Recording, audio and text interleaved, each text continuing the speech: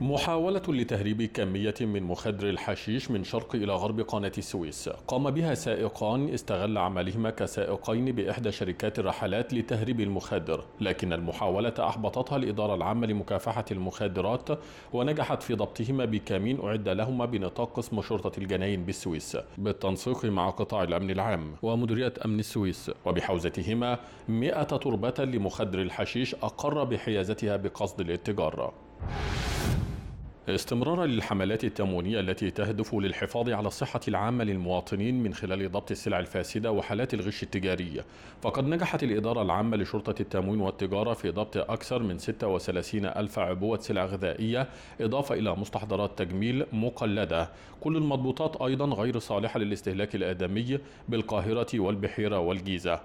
كما استطاعت الإدارة ضبط 15 طن أسماك فاسدة بمصنع دون ترخيص بالمنوفية. الإدارة تمكنت من ضبط سبعة أطنان و404 كيلو إضافة إلى أكثر من 8000 قطعة حلوى جافة ومقرمشات وعصائر منتهية الصلاحية بالجيزة والإسكندرية وأسيوط والدقهلية.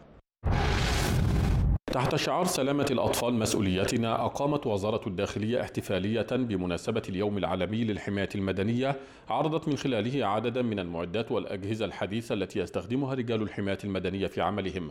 كما أقيم بيان عملي استعرض من خلاله رجال الحماية المدنية جهودهم في مجال إبطال مفعول العبوات الناسفة باستخدام التقنيات الحديثة وعمليات إطفاء الحرائق المختلفة وإنقاذ أشخاص عالقين في مباني منهارة أو أثناء الحرائق. دي نسخة مصغرة اللي اللي إحنا بنقوم بيه في الحقيقة بالفعل.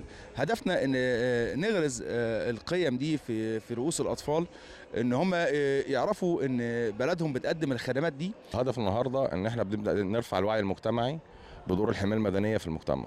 دي حاجة ده شق والشق الثاني إن أنا مهم عندي إن أنا أعرف المواطن إيه مصادر الخطورة اللي هو قد لا يكون غافل عنها أو مش أو مش حاسس بيها. الاحتفالية التي شارك فيها عدد كبير من أطفال المدارس لتعريفهم بجهود رجال الحماية المدنية شهدت تكريما للمتميزين من الضباط والأفراد والمجندين وأسماء عدد من شهداء الشرطة. النهارده أنا سعيد جدا لأن كل آه، القادة اللي هو خدم معاهم الحقيقة كانوا بيشكروا فيه على المستوى الإنساني وعلى المستوى التخصصي إن هو كان ضابط متفوق وناجح. التحقت بمجال الحماية المدنية؟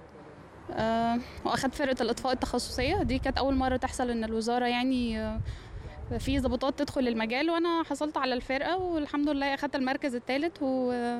وطبعا الناس هنا يعني دي حاجة جديدة في المجال وأنا يعني كنت فخورة بيه جدا. أعرف برضو ال- الناس بتاعة المطافي اللي هو برضو لو حصل أي حريق لازم نكلمهم ضروري ونخلي البيت علشان ما يحصلش برضو أضرار. الأولاد بيبقوا سعداء جدا وهم شايفين ال- العروض وشايفين آه، قد إيه آه، آه، عمل الحماية المدنية آه، خطر جدا.